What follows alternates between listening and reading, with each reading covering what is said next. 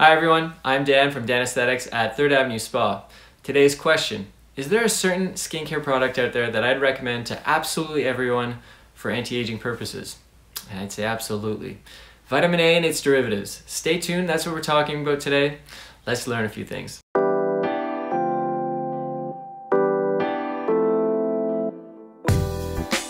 Okay, we need to break down vitamin A first. Vitamin A and its synthetic version is called tretinoic acid. That has three subcategories, retinol, tretinoin, and hydroxypinacolone retinoate.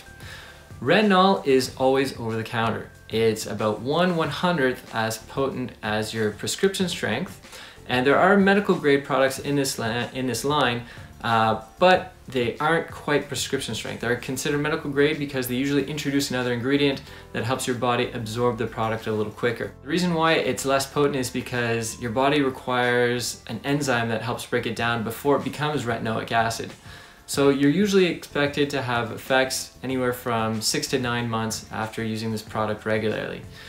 Next is tretinoin. Tretinoin is your prescription strength. It's also known as Retin-A. There's also other forms of uh, name brands out there, but basically this is probably your most uh, potent and most studied uh, vitamin A product there is. Tretinoin essentially is tretinoic acid in a bottle.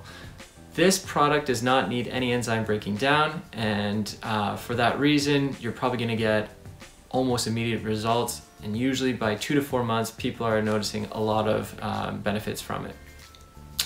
Your final product is your HPR or hydroxypinocolate pinacolone retinoate and uh, this product is your newest form of, of, of vitamin A and uh, it's supposed to be as effective as your tretinoin however there's no irritation associated with it so it's kind of new on the market there's limited studies but it's pretty interesting Alright, the three reasons why I love vitamin A. One is the rapid cell turnover.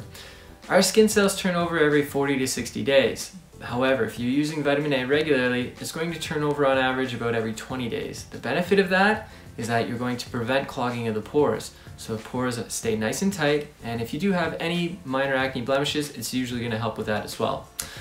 The next thing is that it really helps maintain your collagen and elastin and that is what keeps your skin strong. That gives you that nice boost, that bounce, that luster in our skin that we're looking for. As we mature, whenever we start having wrinkles, the wrinkles are there because we lose elastin and collagen. So by with using this vitamin A regularly, you're going to really give your skin that benefit of keeping its strength. Third Vitamin A has a natural tyrosinase inhibitor effect, which means that if you have any sunspots or melasma or hyperpigmentation whatsoever on the skin, it's going to lighten that area up. Side effects are usually going to be found in your prescription strength tretinoin or your retinol medical grade products. This includes a little bit of skin redness, irritation, potentially even flaking of the skin. In order to avoid that, what I'd probably recommend is putting these products on every two to three nights until your body adapts, and then eventually you can safely take this every day. Now, remember, this product does have some sun sensitivity, so to avoid any further complication, I do recommend placing it on every evening just before bed. Now, the latest version of your vitamin A products is the hydroxypinacolone retinoate. It's supposed to be as effective as your tretinoin without any of the purging. The only issue for me is that it's only been out for the last few years, the studies are limited, so I can't really give you any recommendations on the long-term uh, safety of this product. But so far, it looks promising.